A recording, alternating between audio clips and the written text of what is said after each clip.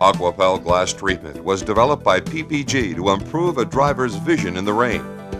As you can see, water hitting the untreated windshield on the bottom flattens out to form a continuous film of varying thickness, making it difficult for the driver to see. Visibility through the Aquapel treated windshield on the top is by comparison very clear.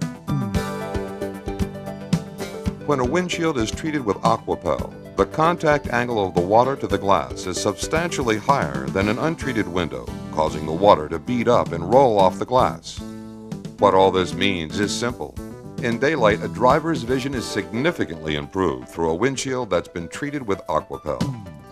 And at night, a driver's vision is remarkably improved.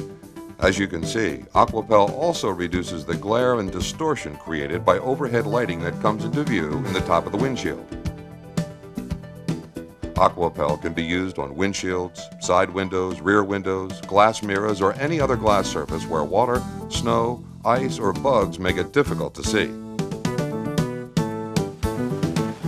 Aquapel Glass Treatment, clearly the leader in rain-repellent automotive glass products.